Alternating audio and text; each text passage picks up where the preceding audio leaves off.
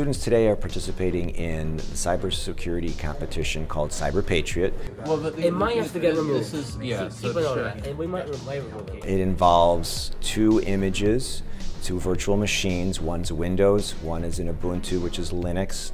Students are trying to defend the images. They're basically going through and finding errors that the users have made in order to fix the problem and harden their system, meaning make it safer so that they're less likely to get hacked, less likely to have things stolen.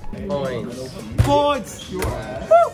Oh no, doing this in high school is like absolutely great. As a district, and I, like, like we're so lucky, and I'm so grateful that I'm able to actually do this because I get to learn so many skills, so many things I wouldn't be, be, be able to know that, that, that I probably wouldn't know like un, unless I, I paid to like go to college somewhere. And so I feel like just being having the ability to, to do this like essentially for free be, be, because because the district pays for all this is something great. You learn so much, so much valuable information that you would like not learn anywhere else from, from doing anything else like this. Make sure that you look at the README. They emphasize that. Huge. The cool part about this is this is a national competition. There are about 5,000 teams across the country competing over a five-day period. The energy level, the excitement over doing the competition is awesome because they have a four-hour window. They have to complete it in that time period. They got to work together. They got to work as a team.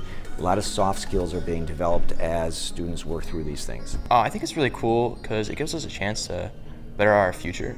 Because this, on whatever we do, is really a boost.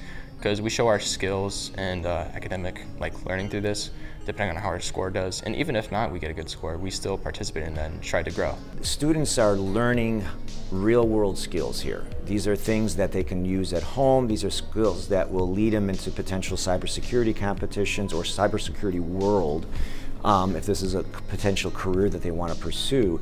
And it's something to put on the resumes. It's a, it's a, it's a example of soft skills that business people are constantly looking for. I definitely want to do this for a career. Uh, I think it's really fun just trying to figure out like, it's like a puzzle. You're trying to like find the right pieces and put them in the right places because you're like, there's so many different things that could go wrong or go right. This isn't a, a lesson that is above and beyond what I could do in the classroom. You know, so participating in this activity is definitely something that gets the kids to realize is this something they really want to do or not, you know, without actually pursuing that degree and, and seeing the challenges. Um, it also is teaching problem solving skills. A lot of our kids just give up too easily um, when they are faced with a problem. This allows them to realize that they can solve problems as they come up to them.